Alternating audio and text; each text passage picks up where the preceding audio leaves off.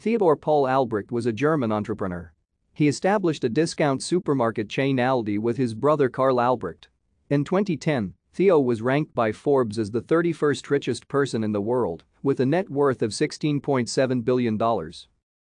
Albrecht learned the grocery business from his mother in order to escape the fate of his father in the mines. He and his brother Karl developed Albrecht Discount, one of Europe's largest chains of supermarkets, with the motto the best quality at the lowest price and now known by its acronym, ALDI.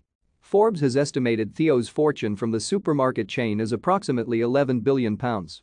Theo and Karl Albrecht split the Aldi company they founded in 1960 after a dispute about whether to sell cigarettes. The supermarket divided into two legally separate operating units with two distinct geographical locations. Theo's Aldi Nord set to operate in the north of Germany, while Karl's Aldi Sud set to operate in Germany's south. Theo retired from daily operations in 1993 and remained as chairman of the board. In 1971, Albrecht was kidnapped for 17 days.